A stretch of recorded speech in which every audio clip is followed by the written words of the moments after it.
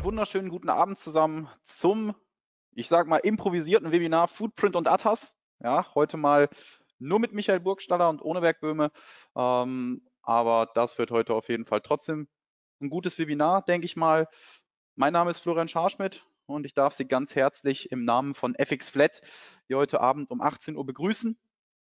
Von daher will ich gar nicht lang drum rumreden ähm, und springe einmal zum Risikohinweis, damit wir darüber auf jeden Fall mal gesprochen haben, denn Sie kennen es alle, ist wie jedes Webinar auch.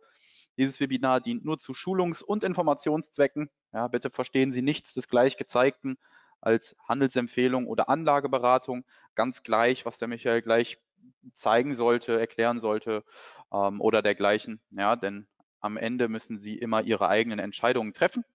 Ja, das ist ganz wichtig von unserer Seite zu sagen. Okay, dann würde ich sagen, gebe ich dir jetzt mal den Bildschirm.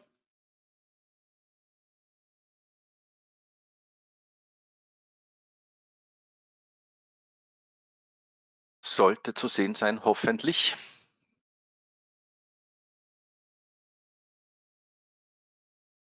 Ja, sorry, ist zu sehen. Alles gut. Sehr gut, dann werde ich hier mal reingrätschen. Ne? Also ich wünsche euch einen schönen Abend aus Österreich und wir haben heute ein bisschen zum Improvisieren, da unser Bernd heute äh, nicht verfügbar ist. Das heißt, ich bin nicht vorbereitet, weil der Bernd hätte heute diesen Footprint-Vortrag äh, gehalten. Ich werde eben Stand-up improvisieren und wir wollten das Webinar einfach nicht absagen, weil immer so viele Leute dabei sind und weil sich alle freut. So haben wir gedacht, na gut, dann ziehe ich das heute alleine durch, äh, nicht vorbereitet, aber wir werden die Zeit hoffentlich äh, füllen können. Ähm, Brauche ich euch heute heute auch, ähm, dass ihr vielleicht die eine oder andere Frage stellt, damit wir da ein bisschen ein Programm reinkriegen. Ich werde heute wieder über neue Features in Atlas sprechen, ja, über altbekannte Probleme. Ich werde die heute auch ansprechen, was äh, diverse äh, Einstellungen mit Datenfeeds und Co. betrifft. Und ja, dann werden wir mal starten, das Ganze. Und ich hoffe, dass ich euch gerecht werden kann heute. Also schauen wir mal. Ich arbeite wieder auf der ATAS Alpha-Version, das heißt die Entwicklerversion. Es kommen einige Features in den nächsten zwei Wochen, die möchte ich euch heute schon zeigen. Und falls mir das äh, Gerät abschmiert, ja, was noch nie der Fall war, aber trotzdem möchte ich euch das in der Alpha-Version zeigen. Die nächsten zwei, drei Wochen äh, wird das dann ausgerollt in die Beta, in die Latest und dann schlussendlich in die Stable. Ähm, weil immer wieder ähm, die Fragen gekommen sind, wie viel kann ich ihn eigentlich in Atlas öffnen? Ja, wie viel, wie viel äh, Workspaces, wie viel Layouts, wie viel Tage Historie und so weiter und so fort. Äh, ihr seht das beim Login.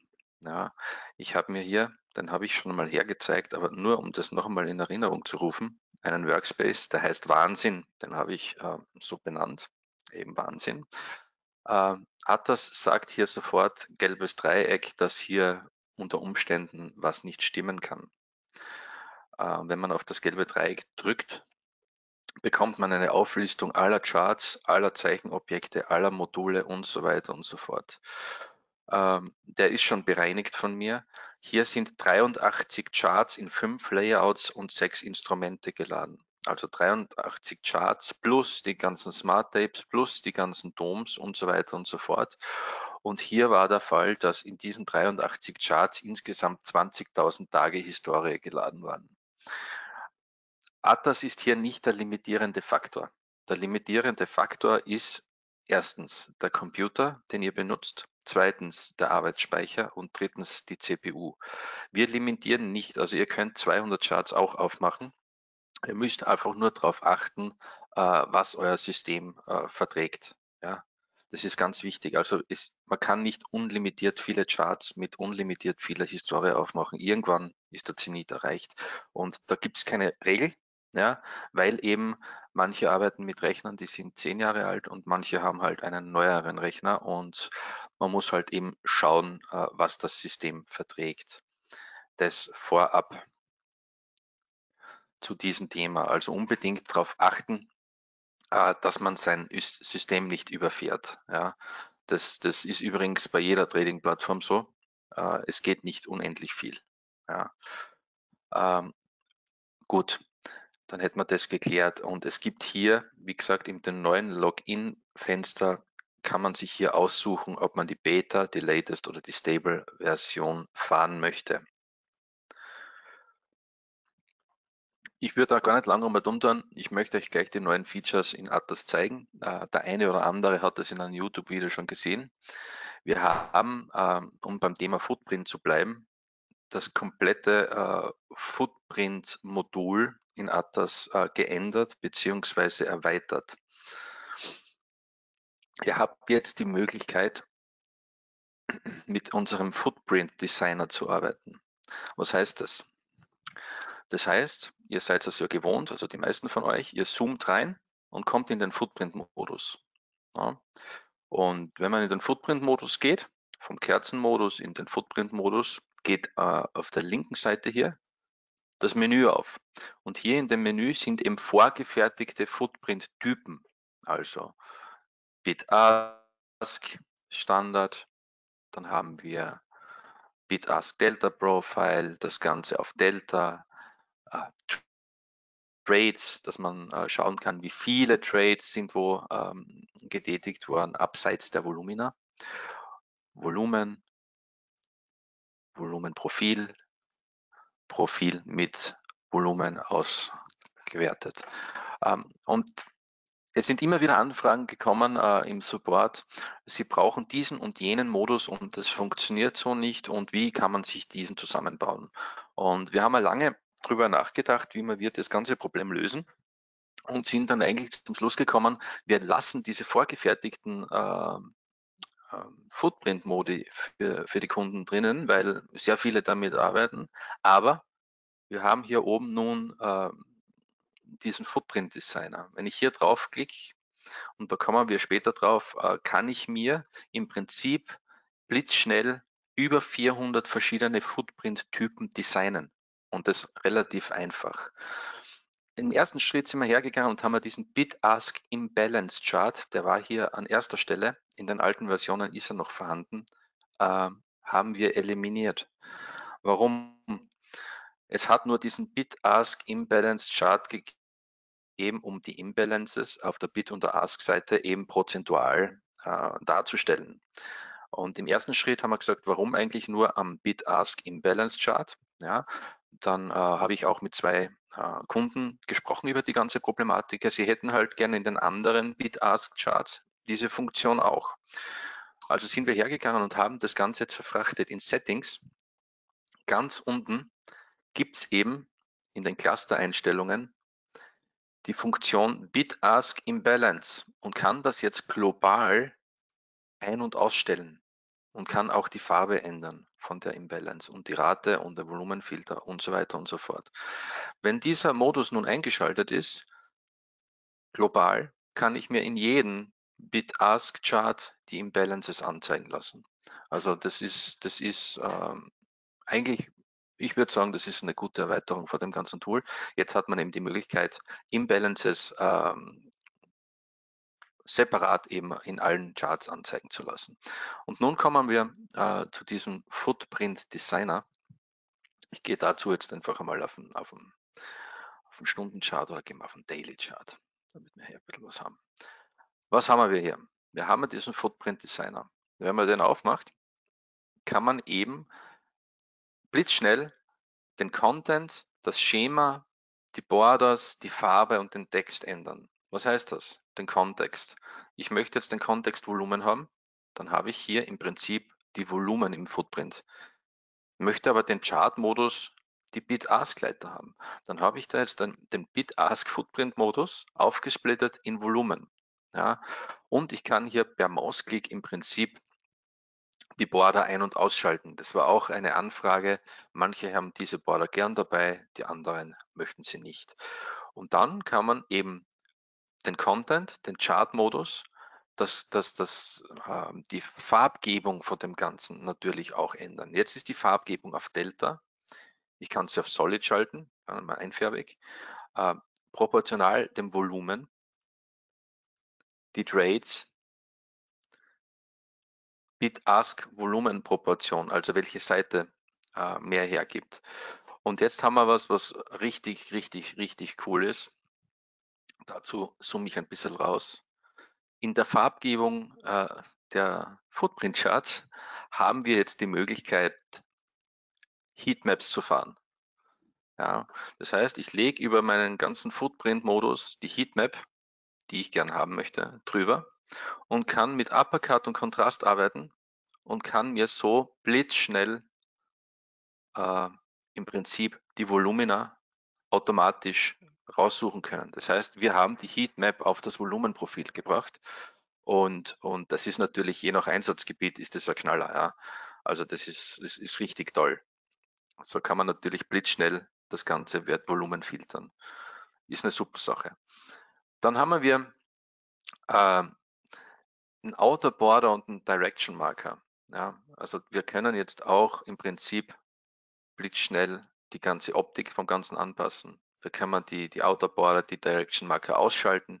Also da sind wir individuell drauf jetzt da, äh, auch was den Text betrifft. Font Size, Autogrößen, äh, Textkürzen, Nachkommastellen und so weiter und so fort. Ja. Auch was ähm, den Maximum Level betrifft, kann man jetzt blitzschnell die Box rausholen. Ja. Kann ich Farbgebung ändern und so weiter und so fort kann den Text nochmal eigens definieren. Also wir haben das ganze Thema Footprint eigentlich jetzt auf die Spitze getrieben.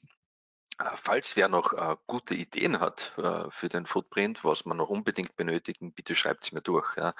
Ähm, dann schauen wir uns das an und wenn das sinnvoll ist, dann wird das natürlich äh, sofort hinzugefügt.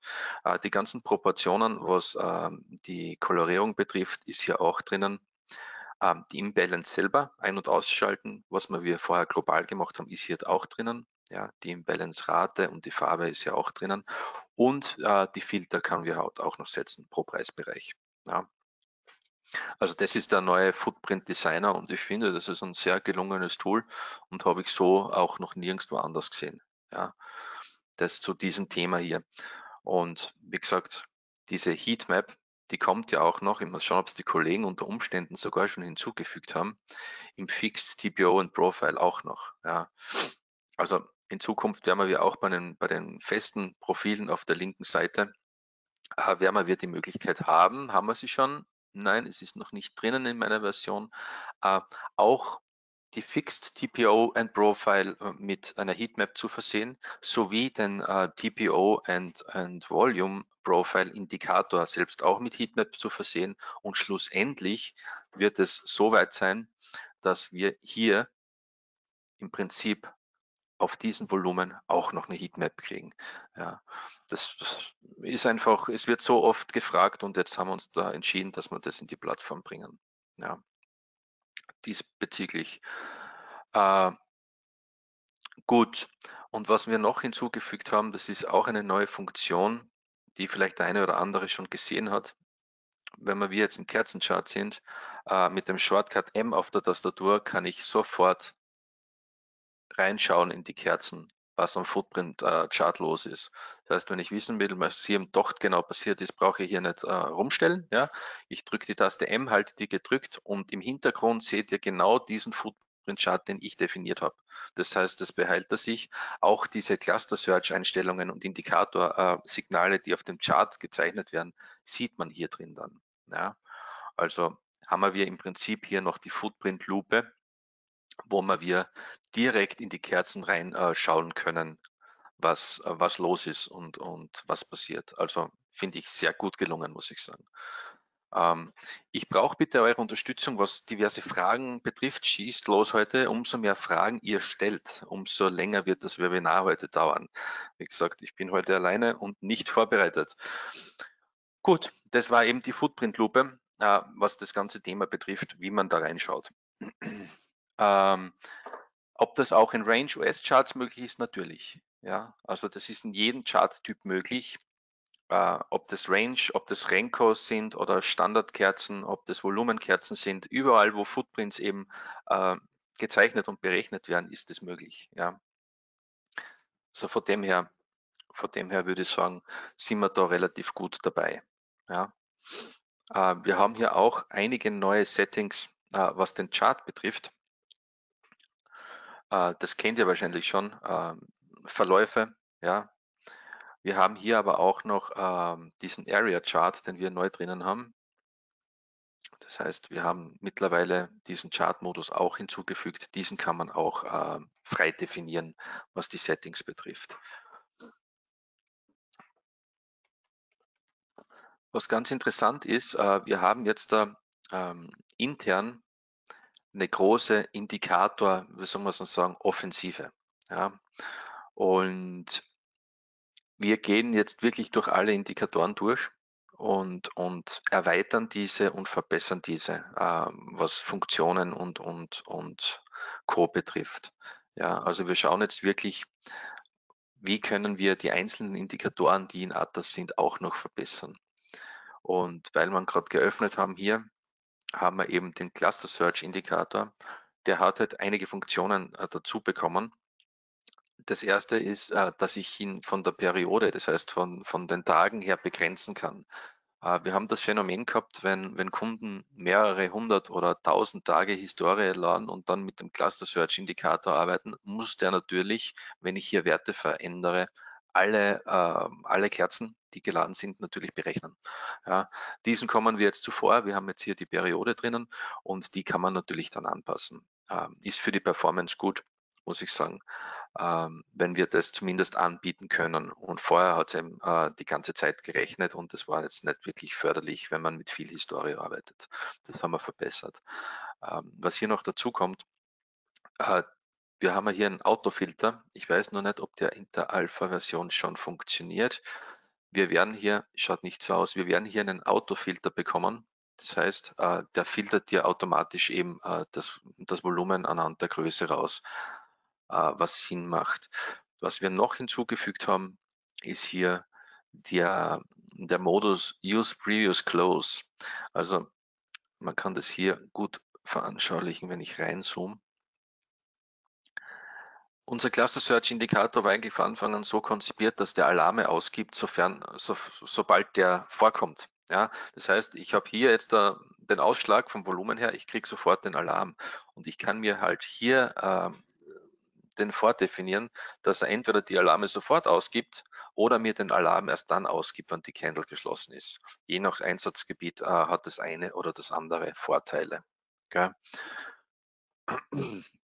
Das von dem her und hier kommen noch ähm, einige neue Filter dazu, was, das, was die Average äh, betrifft, Durchschnitte und so weiter und so fort. Das ist das, was sich im Cluster Search Indikator getan hat. Ich werde jetzt ganz kurz eure Fragen lesen, sofern welche da ist.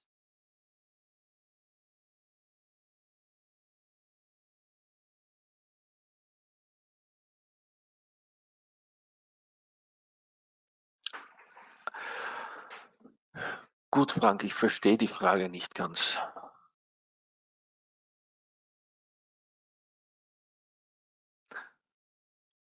Ah, wenn, wenn der Markt eröffnet und er eröffnet um 45, dann ist jede Kerze ab den Open eine Stunde und die letzte Kerze von der Session ist eben dann nur noch eine Viertelstunde.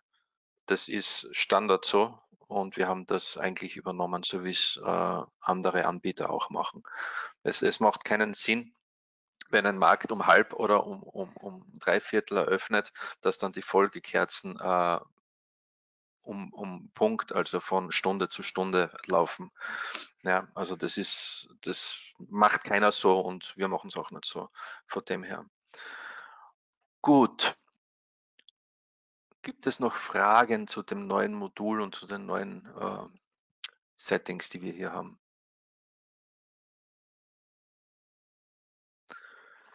Dem ist nicht so. Dann werden wir heute ganz kurz mit dem Footprint-Chart am Stundenchart oder am Tageschart äh, einen Cluster Search einrichten für die Analyse, würde ich vorschlagen. Das können wir machen. Und dazu verwenden wir den 4-Stunden-Chart oder Tageschart am S&P 500 und versuchen, wichtige Levels anhand des Footprints zu finden. Ja.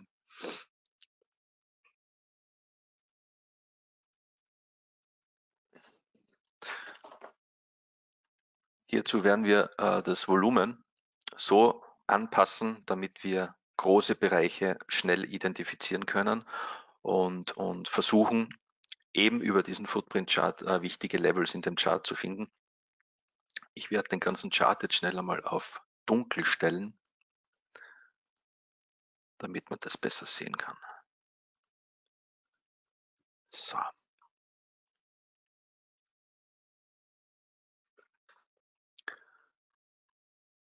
Pss, pss, pss,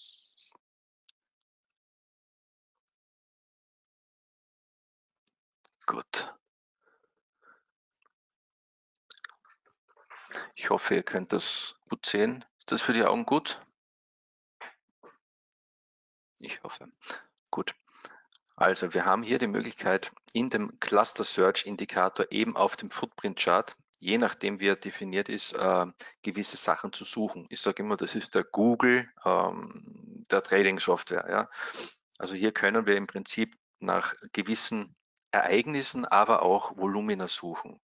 Und ich mache das halt gern. Ich habe das schon mal gezeigt. Und, und, und manche möchten das halt gern noch einmal sehen und haben mich gefragt, wie ich das mache, äh, wie man eben auf die richtige Volumenzahl äh, beim Cluster Search, wie man, wie man dazu kommt. Wie, wie komme ich jetzt zu meinen Zahlen, die ich hier eingebe? Und da gibt es im Prinzip zwei Schulen. Ähm, die eine Schule ist, dass man eben äh, tabellarisch auswertet, was sind die hohen und, und, und kleinen Volumen und eben prozentual sich hier annähert. Ja. Und ich persönlich mache es halt so, dass ich hergehe und sage, ich schaue mir den Chart an und wenn diese Signale beziehungsweise wenn der Cluster Search aussagekräftig ist, was er mir anzeigt und das kann man sofort äh, an der Historie sehen, dann sind die Werte okay. Ja, weil der Markt ist eben dynamisch und so sind es auch die Volumina. Die sind auch äh, dynamisch. Ne? Und ich taste mich dann meistens hier an. Ja, und je nach Markt versuche ich den Markt zu glätten. Das heißt, ich habe hier ein, äh, im Prinzip ein Volumenprofil am Footprint Chart. Schauen wir mal. Und ich habe hier Ausreißer. Ich habe Ausreißer mit viel Volumen, ich habe Bereiche mit ganz wenig Volumen, ich habe wir wieder Ausreißer. Und mir helfen Level nichts, wo ich nur einen Preislevel drinnen habe. Also das möchte ich vermeiden. Ich möchte, ich möchte am Chart sehen, dass mehrere Preislevel ein gewisses Volumen beinhalten. Und das kann ich nur machen, wenn ich den Chart glätte, volumenbasiert. Und das macht man so, indem man hergeht die Standardvolumensuche, äh, also jetzt alles Minimum 5000. Ich werde das erhöhen einmal auf 8000. Gut. Und dann gehe ich aber her und sage, ich möchte die Preisrange erweitern. Warum? Ich möchte nicht auf einem Preis die 8000 haben. Wir sind ja am S&P 500, da ist ein Punkt 4 Ticks. Jetzt probieren wir es einmal mit zwei, drei oder vier. So, und dann haben wir schon mehrere Level definiert. Das heißt, ich gehe hier rauf auf 16.000. Ich möchte Bereiche haben, die über 4 Ticks laufen, aber 16.000 Volumina beinhalten. Das ist mir noch immer zu wenig und geht es einmal rauf auf 19.000. Und man sieht hier schon recht schnell, ich stelle das um, dass ihr das auch seht. Kleinen Moment. Dann müssen wir hier noch auf Only Price gehen. Das macht er mir nicht. Gut, dank der Alpha-Version. Also im Normalfall sind eure Preislevel jetzt eingefärbt. Ja. Und wie ihr seht, jetzt habe ich keine einzelnen Ausreißer mehr, sondern ich bekomme schon langsam Bereiche, die über vier Ticks gehen, aber meine 19.000 Volumen äh, beinhalten. Okay. Und hier kann ich mich eben je nach Instrument spielen und sagen, okay, äh, umso dünner ein Instrument ist, umso mehr kann ich äh, Preisbereiche reinnehmen ähm, zum, zum, zum, zum Kletten, sage ich jetzt einmal ganz salopp. Und hier haben wir halt eben 19.000 Kontrakte und die müssen vorkommen auf, wo sind wir? Wenn ich sehe, das, Price Range. Auf vier Preisen möchte ich meine 19.000 Kontrakte haben. Und wie ihr seht, das ist noch immer ein bisschen zu viel, weil das ist vom Preisbereich her, ist mir das äh, zu wenig. Das machen wir also mal mit 25.000. Gut, und dann wird das Ganze schon interessanter.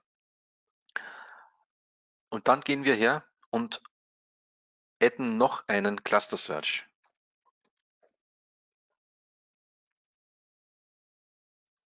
Gut. Und den sagen wir jetzt mindestens 25.000, also 30.000 mehr. Den machen wir rot. Also ich zeige nur, wie ich es machen würde, ja, in dem Fall. Und natürlich hat jetzt nichts drin, weil wir auch hier die Preisrange erhöhen müssen. So. Dann machen wir den noch gelb. Es ist jetzt für die Ansicht ein wenig blöd, weil die Preisbereiche nicht eingezeichnet werden. Aber so geht es in etwa. So, was haben wir jetzt gemacht? Wir haben jetzt im Prinzip am 4-Stunden-Chart äh, mit dem Cluster Search Volumen gesucht, wo mittelmäßig viel Volumen drinnen ist in gelb und wo erhöhtes Volumen ist, wo es noch mehr drinnen ist, in rot. Also das ist jetzt ganz kurz einmal äh, drüber geschnitten, wie man das in etwa machen kann. Und dann schauen wir, ob das, was wir jetzt gemacht haben, überhaupt Sinn macht. Ja, und ich habe ja gesagt eingangs, es macht Sinn, wenn man sich das, was man eingegeben und gesucht hat am Cluster Search, am, am Chart äh, Revue passieren lässt. Ja. Und fangen wir einfach einmal auf diesen Tag an. Und versuchen zu, zu schauen, ob diese Bereiche, wenn sie groß genug sind, umso genauer man die Filter einstellt und mehr Zeit damit verbringt, diese Filter einzustellen, umso genauer werden diese Bereiche natürlich. Ob diese Bereiche halten, beziehungsweise ob es an diesen Bereichen äh, irgendeine Art von Reaktion gibt im Markt. Und wir fangen jetzt ganz normal hier an. Wir sind am 4-Stunden-Chart. Das heißt, diese Kerze bildet sich, diese Kerze ist fertig, dann kommt die nächste Kerze. Wir haben dieses Signal hier eigentlich schon. Ja. Und wir zeichnen das ein. Vier Stunden später kommt die zweite Kerze und es hat hier Reaktion gegeben. Dann bildet sich diese vier Stunden Kerze. Es öffnet die nächste Kerze. Bumm. Wir haben auch hier in dem Bereich, spätestens hier unten wahrscheinlich Bereich, äh, haben wir Reaktion bekommen. Wir haben hier extrem viel Volumen. Wir zeichnen uns das ein. Zwölf Stunden später hält dieser Bereich noch immer. Wir haben hier einen Bereich, in der nächsten Stunde hält er. Wir haben hier einen Bereich, es passiert hier was. Es heißt nicht, dass, dass dies, das, was wir da jetzt gerade machen, dass das äh, der heilige Gral ist, den gibt es nicht. Ja, wir machen hier nichts anderes. Wir suchen extrem große Volumencluster ja, und schauen, ob bei diesem Volumencluster Reaktion in der Folgekerze. Das heißt, wir haben äh, was, was leading ist. Wir haben nichts, das was irgendwie Lagging-Indikator ist, sondern wir wissen eigentlich, sobald sich die nächste Kerze bildet, auf was wir zumindest schauen können. Ja. Und das ist meiner Meinung nach ein sehr interessanter Ansatz. Funktioniert das immer? Nein, es funktioniert nicht immer. Funktioniert das relativ oft? Es kommt drauf an. Die Märkte sind eben dynamisch. Ja, also ich habe das jetzt nicht vorher irgendwo getestet und, und probiert am Chart. Ich habe das jetzt einfach Stand-up-mäßig, weil, weil mir das Programm fehlt für heute, äh, mal mit euch zusammen gemacht und man sieht definitiv, dass hier äh, das was passiert zumindest. Ja. Und das kann man natürlich in seine Strategie oder in seine Analyse einbinden, das Ganze. Man hat ja auch hier, und so ehrlich und fair muss man sagen, teilweise Bereiche, die werden gar nicht äh, in Mitleidenschaft gezogen. Das ist dann ziemlich egal. Ja. Aber man kommt wieder in Bereiche rein, wo eben diese Kerze schon geschlossen ist. Wir haben diese Bereiche und die Folgekerze sticht wieder in diesen Volumenbereich rein und wird respektiert. Und umso genauer, dass man eben diese Filter setzt und diese Filter sich anschaut, und auch ein bisschen ins Gespür kriegt, äh, wenn mehrere Bereiche untereinander sind, dass das unter Umständen ein, ein, zusammenhängender Bereich ist. Und wenn der Kurs hier reinläuft und das Volumen rausläuft, das heißt, umso weiter, dass wir in diese Zone kommen, umso weniger Volumen und umso weniger Interesse ist da eigentlich. Ja, dann macht das Ganze, was wir hier machen, schon Sinn ja, würde ich sagen. Und natürlich muss nicht, kann aber, ja. Wir haben immer wieder Ausreißer drinnen, weil sonst wären wir wahrscheinlich alle Multimillionäre, die was einfach nicht funktionieren. Ja, so fair muss man sein und, und Das muss man sich halt genau anschauen. Und deswegen sage ich, das, das für sich alleine ist ja keine Strategie. Das sollte nur ein kleines Helferlein sein, wenn man seine Tagesroutine macht zum Beispiel, dass man das sehr wohl äh, einfließen lassen kann und sehr wohl schauen kann, äh, was passiert dort eigentlich volumentechnisch bei der ganzen Sache. Und man sieht, dass diese Bereiche sehr wohl sehr wohl die ganze Zeit äh, respektiert werden. Mal, mal genauer, mal weniger genauer. Und solche Bereiche ignoriert man natürlich. Ja. Aber hier haben wir wieder einen. Und das ist jetzt nicht Voodoo, das ist rein nur Footprint mit Cluster Search, also Volumen Footprint mit Cluster Search. Und man hat diesen, diesen Punkt beim Open von dieser Kerze. Ja. Das heißt, man kann hier lauern. Halt. Oft ist es auch so, dass mehrere Vier-Stunden-Kerzen hintereinander solche Bereiche gebildet werden mit Ausbrüchen und so weiter und so fort. Ja, kann hier auch durchgehen und sich das Ganze anschauen, wie sich das eben verhält. Und es ist sehr interessant zu sagen, dass es ziemlich oft zumindest äh, zutreffend ist. Und wenn man eine bestehende Strategie hat, kann man, kann man das Ganze natürlich äh, kann man seine Treffsicherheit natürlich äh, weitgehend in die Höhe schrauben. Ne? Also wenn das mit der Strategie, die man schon hat, zusammenpasst, welche auch immer das ist, ja, und man bezieht solche Informationen mit ein, weil um das geht es ja in Wirklichkeit. Es geht, es geht äh, beim Thema Orderflow, Volumen, Footprint ja eigentlich nur um eines, dass man ein bisschen mehr Information hat, äh, die man sich zu Gemüte führen kann, um seine Entscheidungen einfach besser treffen zu können. Ja. Ich bin ein absoluter Gegner davon, dass das der heilige Gral ist. Es gibt äh, Strategien, die rein auf das basieren. Die mögen auch funktionieren. Ähm, mein Vorschlag ist es halt immer, bestehende Strategien ja, äh, mit diesem Arsenal zu erweitern. Ja. Und dann kommt man eben, dann kommt man eben drauf, dass, dass solche Sachen halt einfach irrsinnig, irrsinnig lässig sind und, und wichtig sind. Und noch einmal, es ist kein 100% Ding, ja, auf keinen Fall. Aber es sind einfach interessante Level, die einfach entweder abgewiesen werden oder eben nicht. Und da können wir jetzt wahrscheinlich ewig lang weitermachen. Ja, das funktioniert auch äh, je nach Instrument auf, auf, auf jeder Zeiteinheit.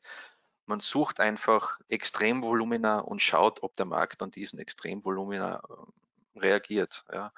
Und da haben wir einmal abgewiesen, zweimal abgewiesen, dreimal, viermal und irgendwann einmal wird dieser Level natürlich auch brechen. Ja, ist immer so. Da können wir durchschauen, äh, wo auch immer.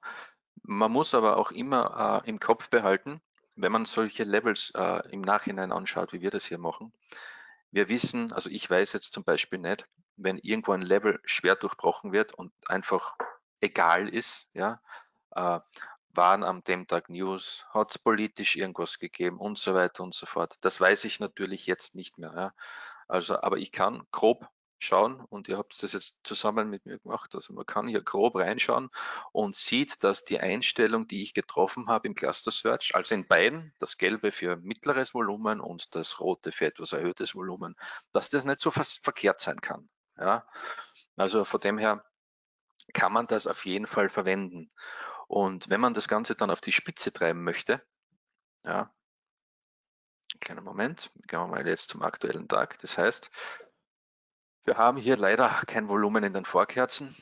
Dann nehmen wir einfach das her, nur zur Veranschaulichung. Wenn man das Ganze dann natürlich auf die Spitze treiben möchte und man hat ein bisschen damit gearbeitet und, und man hat dann schon ein bisschen ein Gefühl auch, ja, vor allem was das betrifft, wenn das Volumen nach unten hin in den Bereich ausrinnt, äh, dann haben wir hier den Vier-Stunden-Chart. Ja. Und dann kann man natürlich hergehen, abseits von dem, man macht dann halt irgendwie seine, seine Tagesprognose, dann hat man seine Levels im Vorhinein schon. Ja. Also man kann rein theoretisch hergehen und sagen, zack, diesen bei diesen wissen wir noch nicht, was, was passiert bis zum Ende der Kerze. Ja, aber haben hier die letzten, ähm, die letzten zwei Zonen. Ja, es kann jetzt natürlich sein,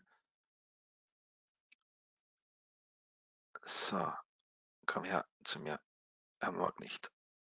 So, wir haben jetzt hier die Zonen und haben in Wirklichkeit schon zumindest zwei Bereiche, wo wir aufpassen können, ja, wo man, wo man damit rechnen kann, dass es Reaktion gibt. Ja. Also, also diese, dieses Short-Szenario hier, also ich sage das jetzt einmal blind, was wir hier oben gehabt haben, ist in, war, war ein bisschen tricky, ja, weil wir haben hier den Bereich und der hat hier nicht gehalten. Da haben wir im Prinzip einen Fehlausbruch gehabt, ja, aber dann hat man gesehen, dass da oben das Interesse immer weniger wird, ja.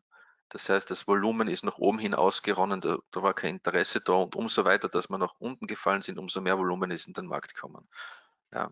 Und ich sage halt immer so, äh, meistens ist es geschickt zu schauen, wohin sich der Markt nach einem großen Volumen bewegt und Ausschau zu halten, ob dieses dann noch einmal vorkommt. Ja, und dann kommen halt im besten Fall, ich sage jetzt besten Fall, solche Szenarien raus, wo dir ein so ein Signal im Prinzip einige gute Möglichkeiten gibt, ja, bevor der Markt dann komplett abtaucht. Und jetzt geht man dann her ja, und dann hat man von mir aus whatever. Und wenn einer mit äh, Kanälen arbeitet oder sonst irgendwas und oder whatever mit COD-Daten arbeitet und dann gibt man diese Information, die man da natürlich dann auch gewonnen hat, lass die einfließen in andere, in andere Strategien. Sei es, keine Ahnung, Moving Averages, Renko Charts, whatever. Aber das ist halt für die große Übersicht meiner Meinung nach äh, ist es ein guter Punkt, weil man zumindest, zumindest Zonen hat, ja, Zonen hat, ähm, wo man sich ein bisschen, wo man, wo man sich auf die Lauer legen kann. Sagen wir es jetzt einmal so, ganz, ganz einfach ausgedrückt. Da legt man sich auf die Lauer und schaut, was passiert. Ja, äh, unter Umständen in einer, in einer anderen äh, Zeiteinheit. Weil wenn wir uns dann im Prinzip irgendwo in so einen Level begeben, ja, jetzt nehmen wir mal das, das, das, das Top das, das, den, den Top-Vorschlag hier nehmen wir uns jetzt einfach mal raus. Und man ist eben genau gerade in so einer Situation. Dann kann man natürlich auch schauen, äh, wenn man die Heatmap offen hat, ja, dann kann man schauen, wie ist denn das eigentlich? Liegen da oben Limit Orders? Warum wird der, warum wird der Markt eigentlich hier abgewiesen? Warum ist das so? Und wenn ich hier natürlich diese Information habe, ja, also und dann vier Stunden später, acht Stunden, zwölf Stunden später sehe, dass immer wenn der Markt darauf kommt, äh, der komplett abgewiesen wird, weil irgendwo dicke Limit Orders liegen oder whatever, dann habe ich natürlich schon wieder einen Mehrwert, weil dann weiß ich, warum wird der Markt da oben abgewiesen. Ne?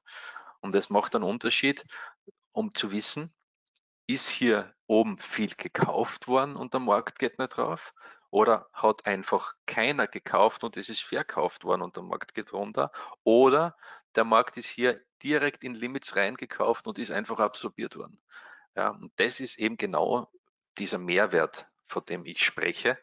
Und das ist meiner Meinung nach für jede Trading-Strategie da draußen ist das ein Mehrwert, einfach Früher hat man gesagt, das ist ein Cluster von Signalen. Du hast den FIBO, dann hast du die Trendlinie, dann hast du eine Moving Average, dann hast du gesagt, okay, wenn alle drei zusammenkommen, dann ist das Signal wertiger. Und meiner Meinung ist es jetzt so, es ist völlig egal, welchen Trading-Ansatz das man äh, handelt. Äh, das ist ein Mehrwert, den was man einfach einfließen lässt, um seine, um einfach seine Entscheidungen äh, ja, zu verbessern. Weil eins, eins steht außer Frage. Ich, ich sehe hier äh, warum das so ist. Ja, und ich muss mir nicht darauf verlassen, dass dieses Setup äh, in 55 Prozent äh, der Fälle funktioniert und nur dann gewinnbringend ist, wenn ich mein CRV immer wieder gleich äh, einhalte. Ähm, dann habe ich zwar ein Setup, das funktioniert, aber ich weiß nicht, warum es funktioniert. Ja, also ich weiß nur, dass es 55 Prozent der Fälle funktioniert. Hier sehe ich genau am Markt, was tut sich. Ja, also ich sehe ja nicht nur auf der Heatmap äh, die, die, Sachen, ich sehe auch im Prinzip am Smart Tape äh, die Geschichte.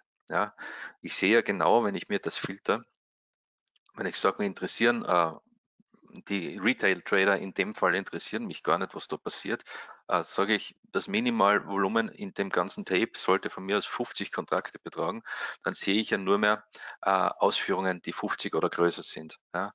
Und dann beobachte ich natürlich, äh, was hier passiert, wenn ich so ein Level anlaufe. Ja.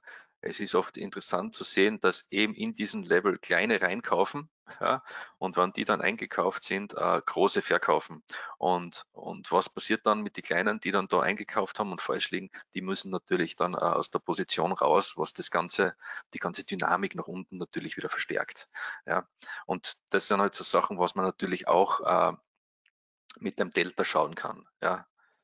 Also hier ist äh, definitiv kann man nachschauen und vor allem dann in den kleinen Zeiträumen, ob ich einen Überhang habe an Käufern und, und Verkäufern.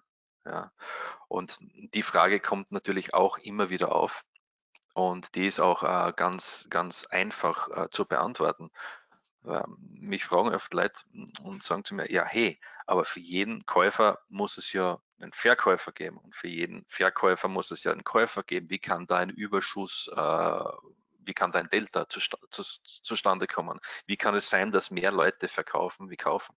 Dazu muss man eines unbedingt äh, berücksichtigen, wenn es um das Thema äh, Delta geht. Und zwar haben wir ja am Markt zwei Parteien von Händlern. Ich, ich nenne es jetzt einfach einmal zwei Parteien von Händlern. Wir haben die, die aggressiv sind, beziehungsweise die Market in den Markt gehen. Ja, die drücken auf Long, die drücken auf Short, also auf Kaufen, Verkaufen und gehen aktiv in den Markt. Und Delta beziehungsweise das Volumen wird ja dann berechnet, wenn ein, wenn einer kauft, ja, der kauft jetzt auf den Level hier und ich schalte kurz den Datenfeed ab, damit man das ein bisschen veranschaulichen kann. Kleiner Moment, das bewegt sich zu schnell für die Erklärung. So, jetzt dürften wir hoffentlich stehen. Moment. So, gut. Komm her da. So. Ganz wichtig jetzt. Wenn jetzt einer auf der 4219,50 kauft, dann habe ich hier nicht mehr 28 auf der Limitseite am ASK, sondern 27. Wenn hier 29 Kontrakte gekauft werden, springt der Kurs rauf auf das nächste Level, weil dieser Limit Level geklärt ist. So, jetzt ist es wichtig zu wissen, wenn der Kurs hier runterkommt, zack, zack, zack, und es wird extrem viel verkauft, weil ähm, also Market verkauft, in dem Bereich. Und hier sitzt äh, ein Händler oder ein Roboter oder ein Algorithmus und der geht her und immer wenn hier verkauft wird und das Limitbuch fast leer ist, der füllt es wieder an. Warum passiert das? Naja, weil Leute aus großen Positionen rein oder raus wollen. Ja? Und die haben dann eben Algorithmen dahinter sitzen, da füllt es immer wieder an. Das heißt, es werden jetzt in dem Fall 48 verkauft, dann ist nur mehr eines im Buch. Das heißt, es gibt fast einen Downtick, aber dann blitzartig sind wieder 50 Kontrakte drin oder 500, whatever. Das heißt, es wird hier im Prinzip der Markt gestützt beziehungsweise will hier irgendwer in die Posi rein oder in die Posi raus und hat halt einige tausend Stück, die was in den Markt bringen muss. So, was passiert jetzt? Jetzt habe ich da lauter Verkäufer. Die verkaufen da rein. Habe ich dann eben ein negatives Delta, weil Market mehr verkauft haben, wie gekauft haben. Das heißt, ich habe hier unten dann ein negatives Delta. Ja, das heißt, es haben viele mehr Leute verkauft. Und hier habe ich ein Level, der immer wieder aufgefüllt wird. Das heißt, es gibt kein Downtick, weil da kommen immer wieder Limits rein. Ja? Oder ich habe solche Levels wie hier, ja, mit 462. Der Schnitt ist irgendwo bei 50 und hier habe ich ein großes Level. Ja? Und es verkaufen, verkaufen, verkaufen. Das heißt, es sind extrem viele Leute short, aber der Level wird immer wieder aufgefüllt. Ja, was wird denn passieren? Irgendwann sind die Shorties aus, ja, sind keine Verkäufer mehr da und der Markt bewegt sich langsam nach oben. Und was wird denn dann passieren? Wenn ich hier ein extrem negatives Delta mit Verkäufer habe, aber der Markt einfach nicht runtergeht, weil hier irgendwer die Limits dauernd auffüllt. Was wird passieren? Der Markt wird dann raufgehen.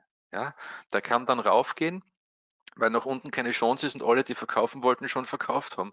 Und die, was dann da verkauft haben, die sitzen ja in der Position drinnen. Und wenn der Markt nach oben geht, werden die die Position irgendwann einmal wieder auflösen müssen, ja, früher oder später. Und wenn die die Position auflösen, ja, dann kaufen Sie zurück. Ja, und dann hat man eben diese Traps. Schauen wir mal, ob wir schnell so, solche Traps finden. Ich gehe einfach einmal auf den 5-Minuten-Chart. Ich lösche hier mal alle Indikatoren raus.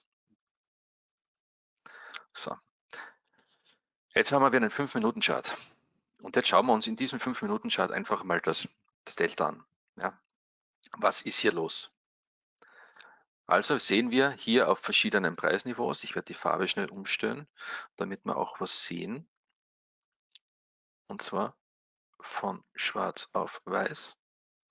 So.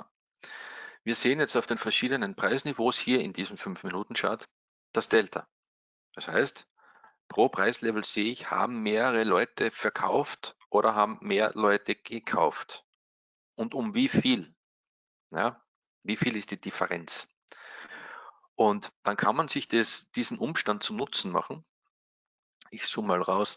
Äh, den Umstand kann man sich zu Nutzen machen und sagen, na cool, also ich habe jetzt da meine Levels aus dem Volumen-Footprint-Modus und ich schaue mir jetzt an oder ich möchte mir anschauen hier in Atas, wo sitzen eigentlich viele Trader in der Falle? Beziehungsweise, wo ist denn eigentlich so, dass hier, bei einem normalen Kerzenchart siehst du das ja nicht, ja, da fehlt mir der Mehrwert. Wo sind jetzt zum Beispiel am Top extrem viele Käufer eingestiegen, aber der Kurs fällt? Oder wo sind unten, ja, am Bottom extrem viele Verkäufer eingestiegen und der Kurs steigt? Dann ist das für uns im Prinzip ein Alarmzeichen, weil wir ganz genau wissen, wenn wir falsch investiert sind, dann müssen wir irgendwann aus der Posi raus. Ja, sonst haben wir ein Problem. Und das kann man natürlich auch wieder einerseits mit dem Footprint-Modus sehen und zweitens kann man sich mit dem Cluster Search, ich hoffe, das ist interessant für euch, meine Herren und Damen, äh, kann man sich mit dem Cluster Search im Prinzip ausgeben lassen. Ja, also ich kann mir im Prinzip ein Signal ausgeben lassen, indem ich sage, ich möchte jetzt da bullische Kerzen, also grüne Kerzen haben nur. Ja, ich möchte aber haben, dass das Delta ein negatives ist. Ja. Stellen wir das schnell ein.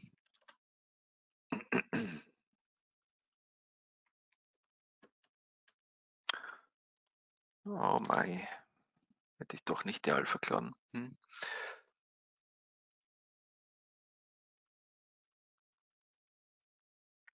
haben wir den typischen Vorführeffekt. Hm.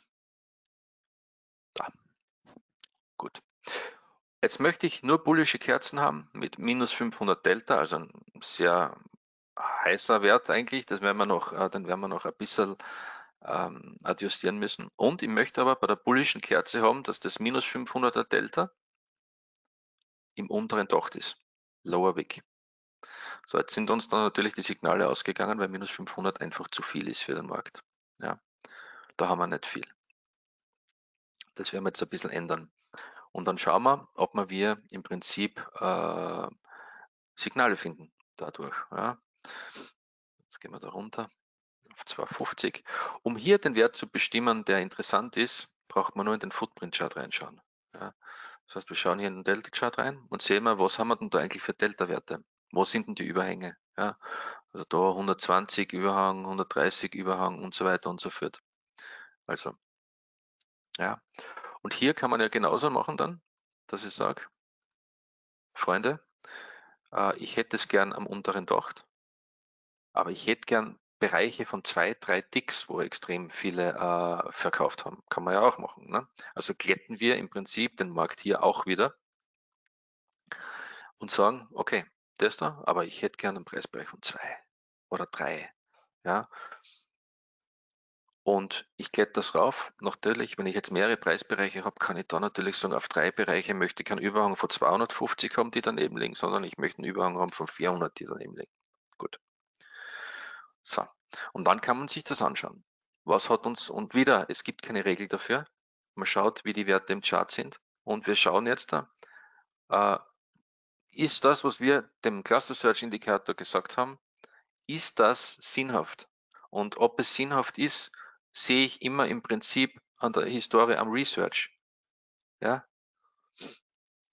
das sehe ich hier immer am Research. Äh, passen die Signale, die mir ausgegeben werden, ja oder nein? Und dann muss man natürlich hier auch immer äh, berücksichtigen, für was lasse ich mir die Signale ausgeben? Für einen kurzfristigen Handel, dass ich sage, ich nehme ein paar Ticks mit, weil die da falsch liegen, äh, oder für eine längerfristige Geschichte. Ja. Da muss man natürlich auch schauen, wie man filtert und vor allem, wo man filtert, ob man fünf Minuten Chart filtert oder nicht. Aber das ist zum Beispiel so ein Klassiker. Ja. Also wir haben hier im Prinzip man darf sich hier nicht täuschen lassen. Das ist eine grüne Kerze, aber die war, wie sie da unten war, rot. Ja, die war hier rot. Und hier haben extrem viele Leute im Prinzip, das ist jetzt nicht der Topwert von der Filterung her, verkauft. Die Kerze ist dann raufgegangen. Und alle, die unten verkauft haben, beziehungsweise viele, vor allem die, was kurzfristig unterwegs sind, haben dann gesehen, wow, der Kurs dreht um, ja, es geht nach oben und die haben aufgelöst. Und das war im Prinzip dann der Ausschlag dahin nach unten.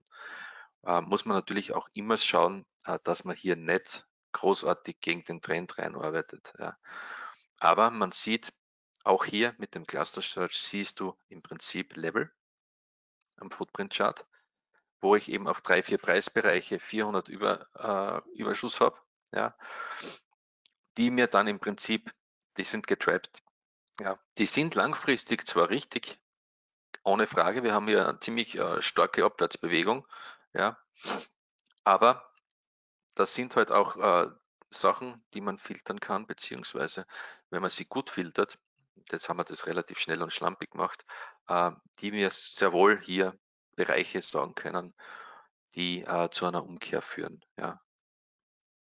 Also das ist dann eben diese Geschichte, wenn viele Trader falsch positioniert sind, hier short gehen und der Kurs nach oben geht. Und umso mehr das sind, umso schlimmer wird die Aufwärtsbewegung, wenn die falsch liegen, weil sie alle glatt stehen müssen. Das, das wollte ich damit sagen. Ja. Also das ist auch was, was man sich anschauen kann und ist natürlich je nach Markt unterschiedlich. Ja.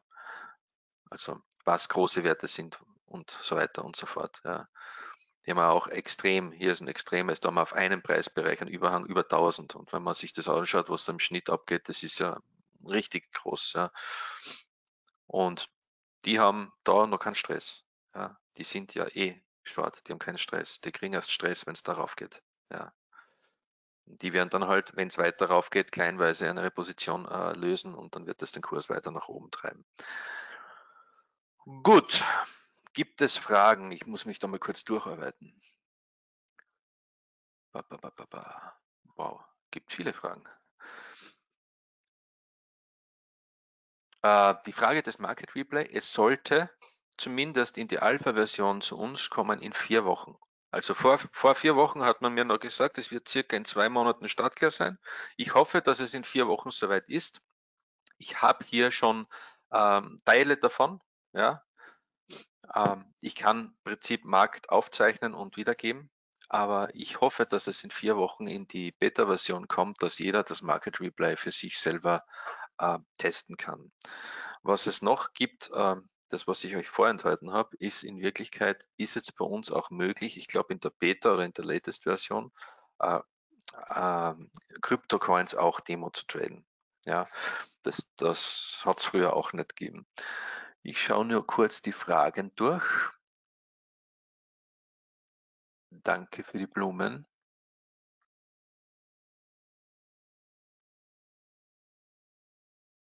So. Äh, Paolo fragt, ob ich das in einer 30 Minuten Kerze oder Stunden auch zeigen kann. Ich gehe davon aus, dass der den vorigen Chart gemeint hat. Es funktioniert natürlich je nach Filterung und, und Instrument und, und Volumenaufkommen in jedem Markt. Ja. Also wir können das gleiche noch einmal hier probieren. Jetzt machen wir den F-Tags auf, äh, 30 Minuten. Ja. Wir wissen, jeder Markt funktioniert anders, aber die Vorgehensweise ist die gleiche. Ja. Also jetzt haben wir den F-DAX im 30-Minuten-Chart. Natürlich, umso kleiner die Zeiteinheit wird, umso kleiner wird natürlich auch äh, oder umso mehr Signale und umso mehr trickier und, und anstrengender wird es, die richtigen Cluster zu finden. Ja. Und wenn ich hier sage, der F-DAX ist natürlich viel dünner wie der S&P, schauen wir mal, was haben wir denn da?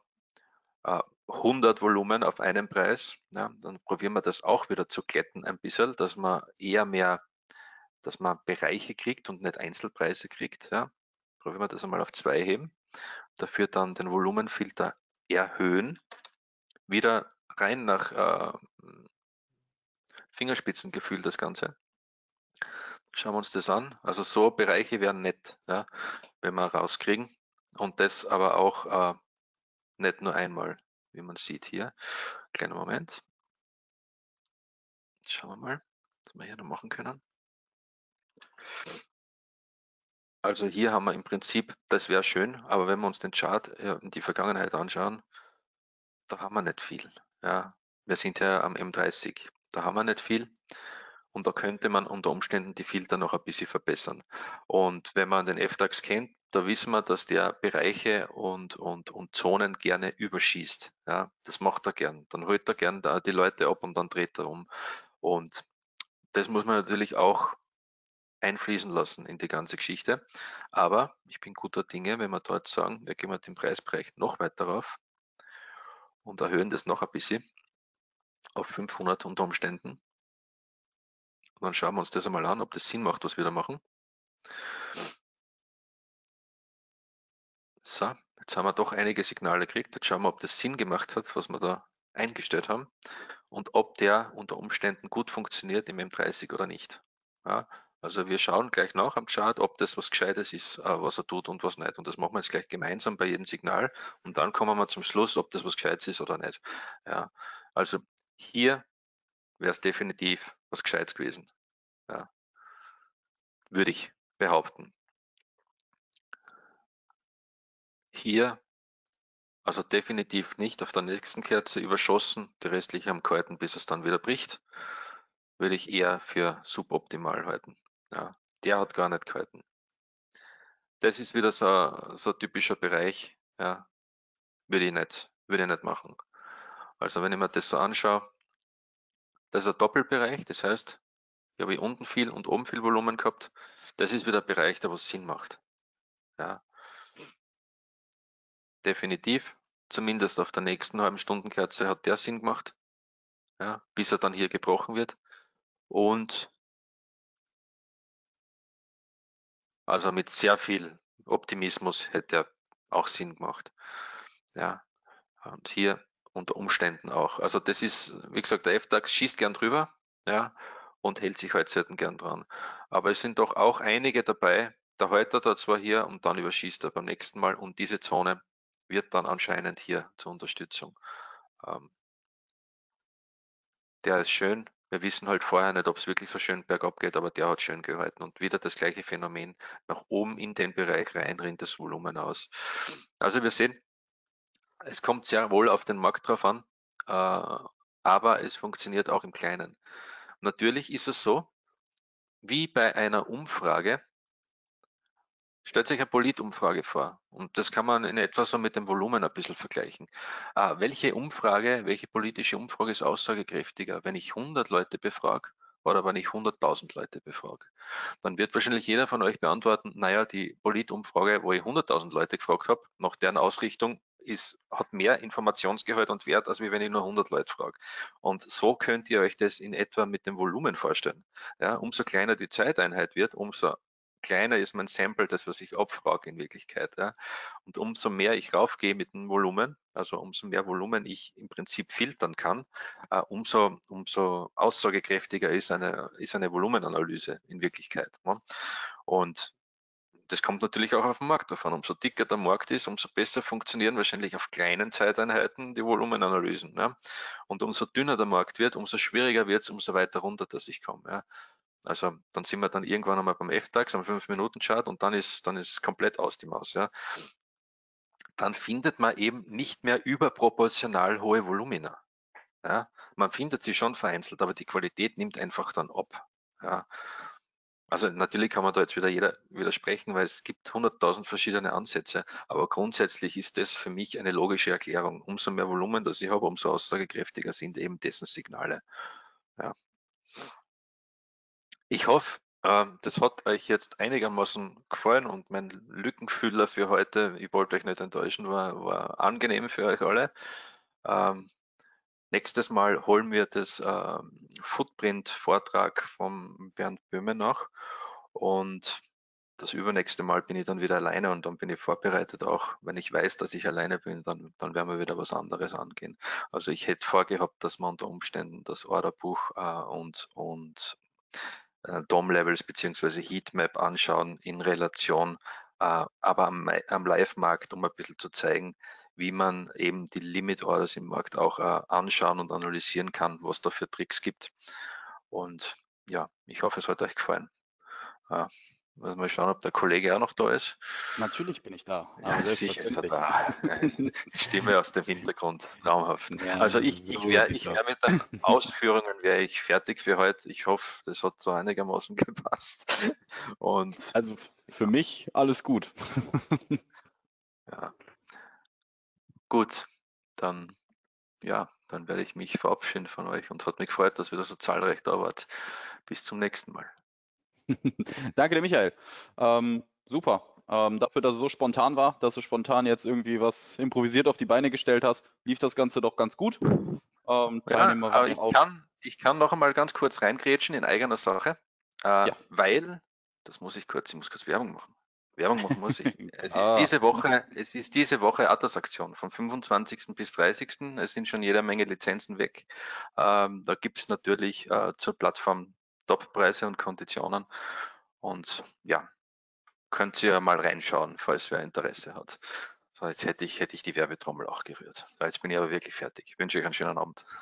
Okay, alles klar. Danke an die Teilnehmer. Bis zum nächsten Mal. Wir sehen uns. Bleiben Sie gesund. Ciao, ciao.